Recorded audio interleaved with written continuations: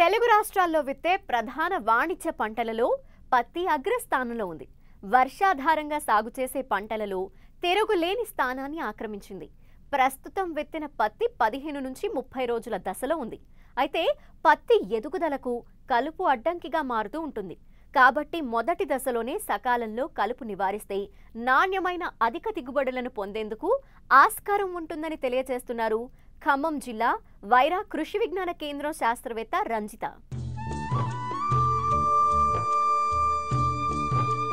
తెలంగాణ రాష్ట్రంలో పత్తి పంట సాధారణ విస్తీర్ణం నలభై నాలుగు లక్షలు. వర్షాధారంగా పండే పంటల్లో అన్నిటికంటే పత్తి సాగు ఆర్థికంగా మంచి ఫలితాలను అందిస్తూ ఉండడంతో రైతులు ఈ పంట సాగుకు అధిక మక్కువ చూపుతున్నారు. దీంతో తెలంగాణలోని మొత్తం సాగు విస్తీర్ణంలో నలభై శాతం విస్తీర్ణాన్ని పత్తి పంట ఆక్రమించింది.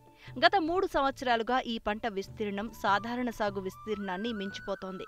ప్రకృతి అనుకూలిస్తే రైతు ఎకరాకు పది నుండి పదిహేను క్వింటాళ్ళ దిగుబడిని నమోదు చేస్తూ ఉండడం మద్దతు ధర ఆశాజనకంగా ఉండడం వల్ల రైతులకు అన్ని విధాలుగా పత్తి సాగు అనుకూలంగా ఉండడంతో ఈ ఏడాది ఏకంగా యాభై రెండు లక్షల ఎకరాల్లో పత్తిని సాగు చేశారు.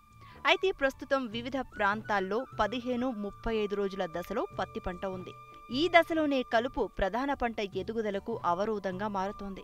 అయితే మార్కెట్లో అనేక రకాల కలుపు మందులు లభిస్తున్నాయి. అయితే ఏ పైరుకు ఏ మందును ఎంత మోతాదులో ఏ సమయంలో ఎలా వాడాలో అన్ని వివరాలు పూర్తిగా తెలుసుకున్న తర్వాత మాత్రమే వాడాలి.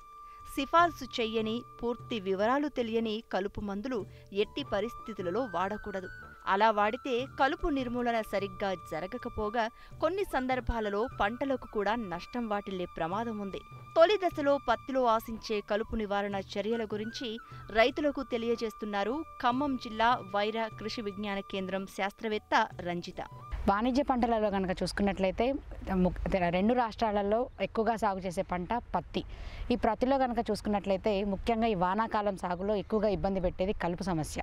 ఈ కలుపు యాజమాన్యం కనుక చూసుకున్నట్లయితే ముఖ్యంగా అసలు ఈ కలుపు సమస్య అనేది ఎందుకు ఎక్కువగా వస్తుంది అనేది కనుక విశ్లేషించుకున్నట్లయితే నాలుగు విధాలుగా చెప్పుకోవచ్చు. మొదటిది వరుసకి వరుసకి మధ్యలో ఎక్కువ దూరం ఉండడం వల్ల పత్తి వరుసల మధ్యలో ఎక్కువ దూరం ఉండడం ఒక ఒక కారణంగా చెప్పుకోవచ్చు. తర్వాత విచ్చలవిడిగా ఎరువులు వాడడం అనే దాని వల్ల కూడా కలుపు సమస్య ఒకటి ఎక్కువగా వస్తుంది.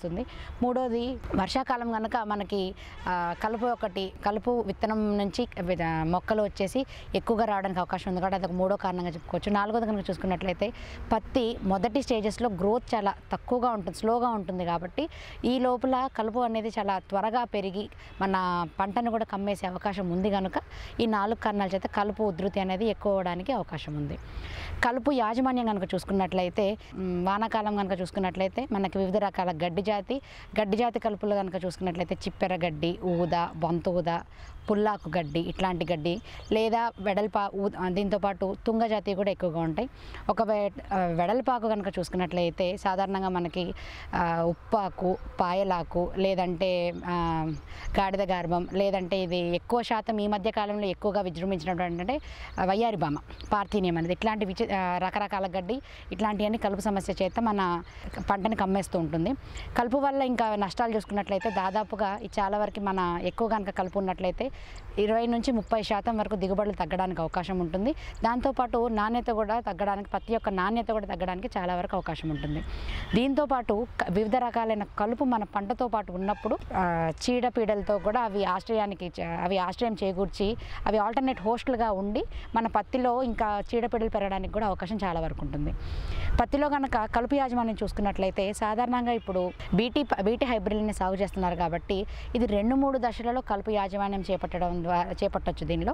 సాధారణంగా చూసుకున్నట్లయితే ఇందాక మనం అనుకున్నట్టుగా పత్తికి వరుసల మధ్యలో దూరం కనుక ఎక్కువ ఉంటుంది కాబట్టి అంతర్కృషి చేతనే చాలా వరకు కలుపును తగ్గించుకోవడానికి అవకాశం ఉందని రైతు సోదరులు గమనించాలి అందుకని రైతు సోదరులు సాధ్యమైనంత వరకు నిలువుగా అడ్డంగా రెండు పక్కల చాలా వరకు అచ్చుతోలే ఇది చేస్తారు కాబట్టి ప- పత్తి సాగు చేసుకుంటారు కాబట్టి నిలువుగా అడ్డంగా అంతర్కృషి చేసుకున్నట్లయితే చాలా వరకు ఈ కలుపు కలుపు అధిగమించడానికి అవకాశం ఉంటుంది.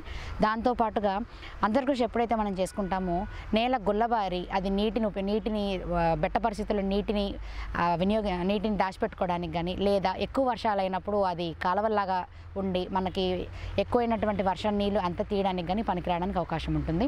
అయితే అంతర్కృషి కనుక చూసుకున్నట్లయితే సాధారణంగా ఇరవై రోజులప్పుడు నలభై అరవై ఇట్లా మూడు నాలుగు సార్లు కనుక రైతుకు వీలున్నప్పుడల్లా చేసుకున్న ఇరవై రోజులకు ఒకసారి కనుక చేసుకున్నట్లయితే చాలా వరకు కరుపు నిర్మూలన చేయడానికి అవకాశం ఉంటుంది. ఒకవేళ కనుక ఒక మనకి మనుషులు కనుక లభ్యత ఉంటే సాధారణంగా పత్తికి కనుక మనం క్రిటికల్ పీరియడ్ అనేది కనుక చూసుకున్నట్లయితే మొదటి అరవై రోజుల వరకు దీనికి క్రిటికల్ పీరియడ్ అని చెప్పుకోవచ్చు. అంటే మొదటి అరవై రోజుల్లో కనుక కలుపు నిర్మూలన చేసుకుంటే చాలా వరకు కలుపు నుంచి మన పంటను కాపాడుకొని మంచి దిగుబడి తీసుకోవడానికి అవకాశం ఉంటుంది. ఒకవేళ వర్షాకాలం వల్ల ఏదన్నా ఈ క- అంతర్కృషి సాధ్యం కాకపోయినా లేదా ఇప్పుడు ఉన్న కూలీల యొక్క రేట్ల చేత మనుషులు పెట్టుకోవడం కనుక సాధ్యం కాకపోయినా ఇప్పుడు మనకి మార్కెట్లో మంచి మంచి రసాయనాలు వాటి కాంబినేషన్స్ అవైలబుల్గా ఉన్నాయి కాబట్టి వీటితోటి కలుపు నిర్మూలన చేసుకోవడానికి కూడా అవకాశం ఉంది.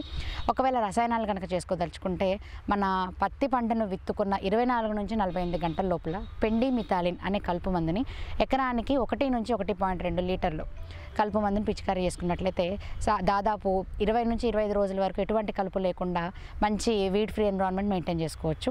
ఒకవేళ పెండి మిథాలిన్తో పాటు స్టాంప్ ఎక్స్ట్రా అనే ఒక కలుపు మందును కూడా లీటర్కి మూడు పాయింట్ ఐదు ఎంఎల్ చొప్పున అంటే ఎకరానికి ఏడు వందల మిల్లీ లీటర్ల చొప్పున పిచికారీ చేసుకున్నట్లయితే ఇవి ఏదైనా కానీ విత్తిన ఇరవై నాలుగు నుంచి నలభై ఎనిమిది గంటల లోపల పిచికారీ చేసుకుంటే మంచి మంచి ఫలితాలు పొందవచ్చు.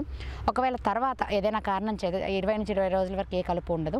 తర్వాత వర్షాకాలం గట్టి క- కలుపు ఏదైనా ఎక్కువగా ఉండి అంతర్కృషి చేసుకోలేని పక్షంలో గనక ఏదైనా కారణం చేత కలుపు ఎక్కువగా ఉన్నట్లయితే మనకి పైరిథియోబ్యాక్ సోడియం కానీ లేదా ప్రోపాక్ విజాఫాప్ ఈ రెండు మందులు పిచ్- మిశ్రమాన్ని రెండు పావు లీటర్ చొప్పున కలుపుకొని మిశ్రమాన్ని పిచికారీ చేసుకున్నట్లయితే చాలా వరకు ఎడల్పాకును మరియు తుంగజాతి మరియు గడ్డి జాతి కలుపునంతా నిర్మూలించుకోవడానికి అవకాశం ఉంటుంది. ఈ మందు మిశ్రమాన్ని సాధారణంగా ఇరవై రోజుల తర్వాత కావాలి అనుకుంటే రైతు సోదరులు ఒకవేళ కలుపు ఇంకా ఉంది అనుకుంటే నలభై రోజులప్పుడు అరవై రోజులప్పుడు కూడా పిచికారీ చేసుకుంటే చాలా వరకు కలుపు నిర్మూలించుకొని మంచి దిగుబడి పొందడానికి అవకాశం ఉంటుంది.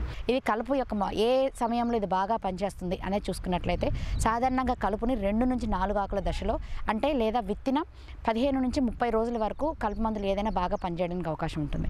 కాకపోతే కొన్ని మందులు మనం నలభై రోజులప్పుడు అరవై రోజులప్పుడు పిచికారీ చేసుకుంటాం కానీ అప్పుడు కూడా కలుపు వయసు అనేది కేవలం రెండు నుంచి నాలుగు ఆకుల దశ. అంటే కల్ విత్తనం మొలిచి కేవలం పదిహేను నుంచి ఇరవై రోజులు అయితేనే ఏ కలుపు మందైనా మంచిగా పనిచేసి ఆ కలుపు మందును పిచికారు చేసుకోవడానికి మంచి రిజల్ట్ పొందే అవకాశం ఉంది. ఖరీఫ్ పత్తిలో కలుపు అధికంగా ఇబ్బంది పెడుతుంది. వరుసల మధ్య దూరం అధికంగా ఉండడం కలుపు పెరుగుతూ ఉంటుంది. అయితే శాస్త్రవేత్తల సూచనల ప్రకారం సకాలంలో కలుపు యాజమాన్యం చేపడితే నాణ్యమైన అధిక దిగుబడిని సాధించేందుకు వీలుంటుంది.